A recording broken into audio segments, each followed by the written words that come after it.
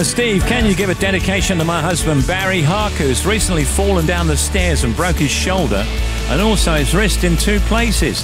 Thank you from Susan Harker, Newcastle upon Tyne. My goodness, Barry, get well then.